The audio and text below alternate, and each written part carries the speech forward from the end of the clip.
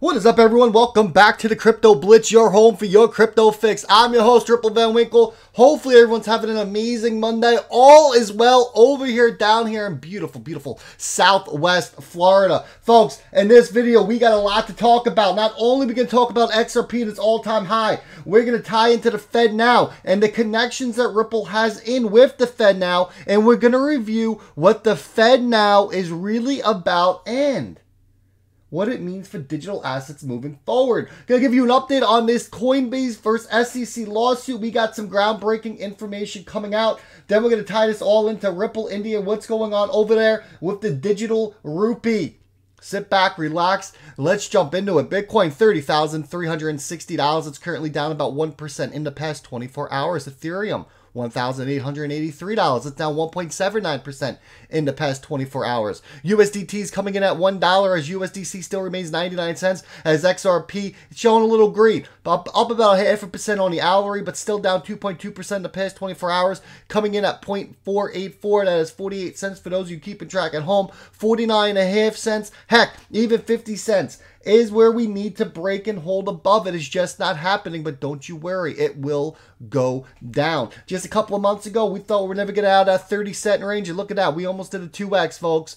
Total cryptocurrency market cap, $1.19 trillion as the Bitcoin Downs is coming in at 49.5%. Where do we go from here? Time will obviously tell, but I think we're going to be flat just for a little bit just a little, maybe maybe a little down before we get the next push up. 40 to 42,000 is the target for Bitcoin by summer. Now I want to rem remind you about this.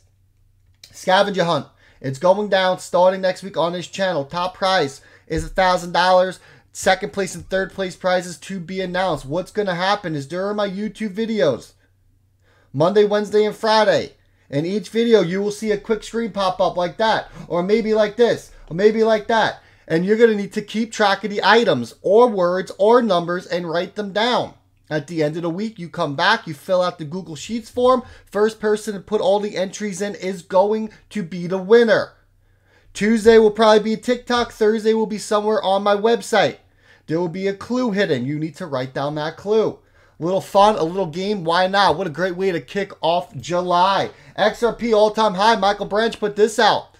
It states when the lawsuit ends, it won't hit 10,000, 1,000, 100, or even 50. It could reach a new all-time high, which is above $3.70, and we should all be more than satisfied. Here's a tweet from Crypto Asset Guy. I just want to make a little bit of a correction in here. All-time high was not $3.70. All-time high within the United States was about $2.80 or so. I believe once the lawsuit ends, we can definitely see that price. I would love to get to an all-time high before the Bitcoin bull run kicks off because then the 7 to $13 target that I am calling for, I am looking at is going to play into this. Remember, the higher the price goes now before the lawsuit, the higher the price will be after the lawsuit. The higher the price at the lawsuit before the Bitcoin bull run and Bitcoin halving cycle kicks off, the higher the price we're going to go again.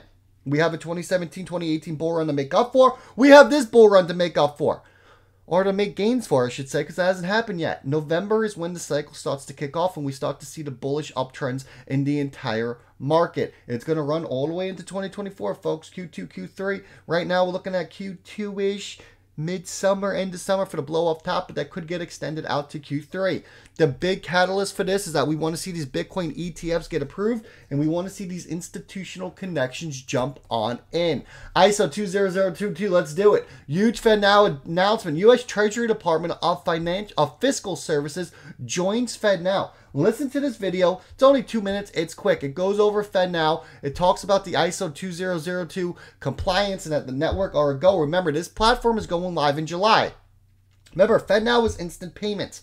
The whole point of ISO 20022 was to make it so these domestic payment rails, the new systems are all going to now be able to incorporate digital ledger technology and blockchains. If this rule or amendment, whatever you want to call it, was never passed, and these systems never would have updated or upgraded, but this is forcing their hands. Listen up. Some super big news for you. One of the biggest announcements in FedNow, and I want to say the biggest announcement since FedNow service itself was announced, just came out. The Federal Reserve announced the addition of multiple organizations to the FedNow Service pilot program, new ones that are joining the FedNow Service program. These participants, they're joining the already established 120 other organizations that are already in the program's testing phase, which began earlier this year and will continue until the launch of the FedNow Service in 2023. And out of these new participants, one of them really stands out. Who? The U.S. Department of the Treasury's Bureau of Fiscal Service. That's the U.S. Department of the Treasury's Bureau of Fiscal Service. To me, this is the biggest announcement in FedNow since the announcement of the FedNow service. Why? Well, think about it. Who is the U.S. Department of the Treasury's Bureau of Fiscal Service?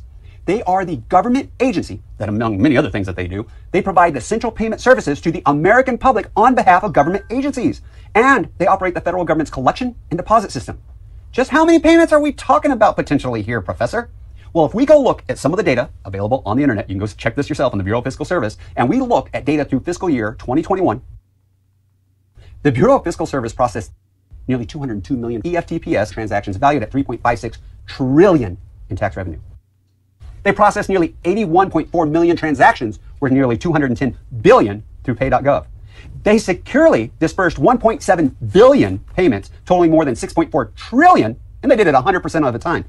That's a lot of payments. Let me break this down for you a little more. If you get a federal government benefit payment like Social Security or an electronic funds tax payment system like, oh, I don't know, IRS tax returns, then you have benefited from a U.S. Department of Treasury's Bureau of Fiscal Service payment. Well, what's this really going to mean to you?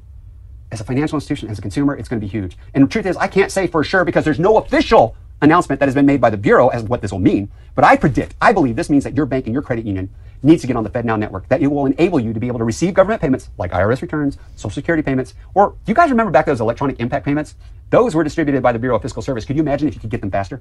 Can you imagine what it means to the payments industry, let alone the country, to have the U.S. Treasury Bureau of Fiscal Service having the ability to distribute FedNow instant payments? Go from getting a payment in a day or two to getting it in seconds.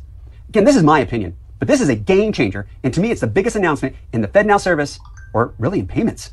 FedNow service, folks, this is a big deal. Instant payments. Yes, you don't need a digital asset for instant payments, but you know what? If you want to start talking about instant settlements, you want to start talking about wall gardens, you want to start talking about bridging this money to get instant settlement, you're starting to look at it, you're starting to talk about digital assets, folks. We are already seeing the US dollar be tested and being backed by XRP in the island nations of Palau. Pay attention to this. Now we get this. Let's look at some connections in here. When we look who was involved, and I believe this is the right article pulled up. It's not, but I want you to think about for a second who was involved in this. Okay, you have a bunch of Ripple partners. One of them that sticks out to me is Volante. Volante integrated their own processing module for XRP and for the XRP ledger, which they are tested up to FedNow. You know, a lot of people that used to work for Ripple are working on this FedNow payment as well. Interesting, folks. Very interesting. Let's get an update on this lawsuit going on with Coinbase. It says maybe I've got it wrong. This is from Coinbase's lawyer. But as as I reviewed a transcript of Binance's hearing, excuse me, between Binance and the SEC. Says as I reviewed a Binance's hearing before Judge Jackson, since when does Rule 8 or 11 allow a party, let alone a government, to reserve identifying what exactly it claims to get past a motion to dismiss and into discovery? The court. The others that you say you're trading and that you're not saying are securities, because you're not saying all the ones that trading are securities. Correct. SEC said we at this time, Your Honor, we're reserving our right, just given we're at the pleading stage, we have to get into discovery where we can make a full assessment. But our possession, our position, Your Honor, is that one of these coins are a security we've won. The court says, so I'm asking you, the ones that you are not putting in the securities categories, what are they? Are they commodities? The SEC responded with, we are not. Thank you, Your Honor. We are taking a position at this time. We are not at the pleading stage. We are trying to get past, you know, any potential motion to dismiss any satisfying burden under the rules.